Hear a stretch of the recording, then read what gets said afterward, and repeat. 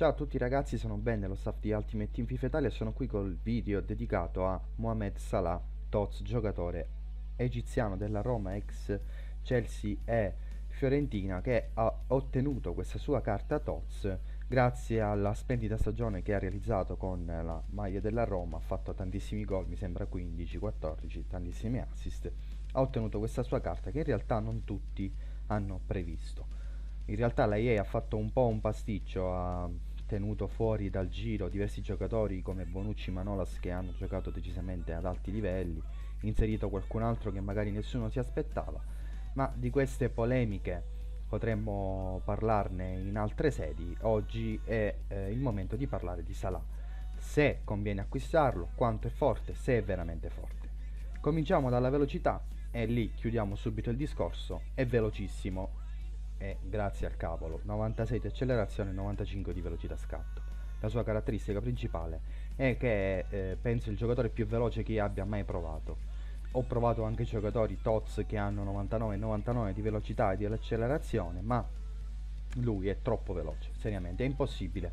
Mi ha deciso alcune partite semplicemente prendendo la palla, smarcando tutti e poi eh, l'avversario o in preda a una crisi isterica e poverino non, non, non, lo posso neanche biasimare, poveraccio, mi ha buttato steso in aria procurando un rigore, o eh, con queste serpentine creare degli spazi incredibili nei quali poi una squadra ben strutturata, anche normalissima, una squadra oro raro, eh, può inserirsi, tutti i compagni appunto di Salah possono inserirsi per andare a concludere. Quindi un giocatore anche molto associativo, anche se in, mol- in, in molte clip vedrete che eh, a volte farò il solista perché poi ti viene quando parti con questo motorino umano che corre e tu quasi ti gasi dici ma perché mi devo fermare? Ed è lì che l'abilità del giocatore di FIFA deve migliorare perché tante volte continui a correre poi arrivi davanti alla porta e sbagli perché non, eh, non hai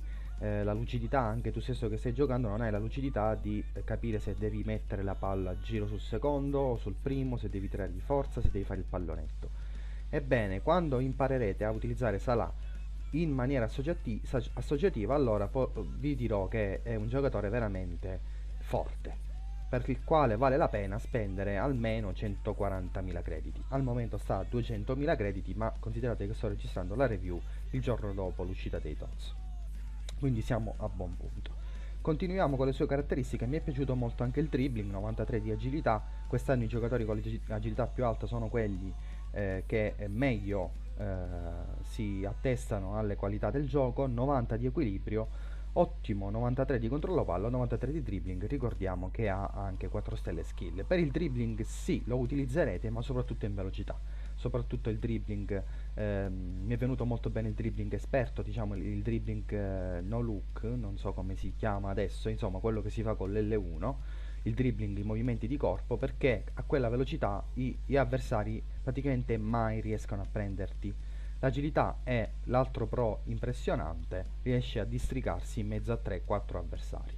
Per quanto riguarda i tiri mi è piaciuto solamente il tiro a giro solamente il tiragiro che eh, va a rientrare nelle statistiche di effetto che ha eh, un 73 veramente scarso però i tiri a giro li fa veramente bene vi verrà sempre di, di tirare a giro perché lui ha sempre questa, questo atteggiamento alla Robben no? di rientrare su sinistra e provare il tiro a giro sul secondo palo poi tutte le altre statistiche di tiro, soprattutto la finalizzazione 90, non le ho trovate così devastanti. L'88 di potenza tiro non è così devastante, devo dire. Cioè, mh, fa il suo, fa i suoi gol, così come li faceva la versione NIF. Perché quando sei così veloce, quando arrivi davanti alla porta, sono due le cose, o fai l'assist bene o fai un buon tiro. Quindi tutto sommato devo dire che non ho sentito questa finalizzazione così alta, ma non è neanche un contro, perché alla fine un esterno che ti fa in 6 partite 4 gol non si può per niente eh, scartare. Ehm, I passaggi, i passaggi, non so, eh, bisognerebbe considerarli eh, normali, perché passare eh, adesso con Salah è un po' un, eh, un eufemismo, passaggi. Possiamo parlare di statistiche, ma poi sostanzialmente eh, sì, è bravo a fare gli scambi, soprattutto col COC, grazie all'86 di passaggi corti, però non è quello che vi farà l'assist mh, perfetta.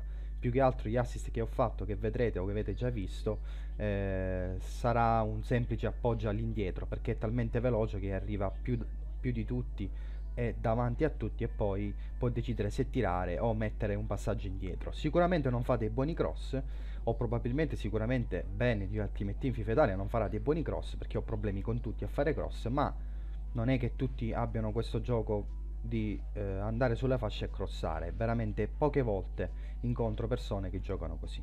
In definitiva ragazzi, il contro di Salah qual è?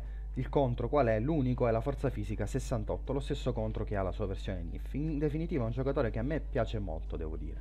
È forte. Ripeto, se scende so- sotto i 140, 100.000 crediti per me ne vale assolutamente la pena perché è un giocatore decisivo. Se rimane a questo prezzo di 200.000 io vi dico, ma se proprio vi piace Salah, prendete quello NIF perché tanto le caratteristiche sono quelle, è comunque devastante. Non prendete la versione IF a meno che non vogliate metterlo come COC o come seconda punta. Quindi di conseguenza sì, un giocatore che è veramente forte, no, non vale la pena comprarlo a questo prezzo, ma se, do- se dovesse scendere, allora sì. Noi ci vediamo presto con una, una nuova review dei TOTS Serie A Ligan e ci vediamo presto nei prossimi video.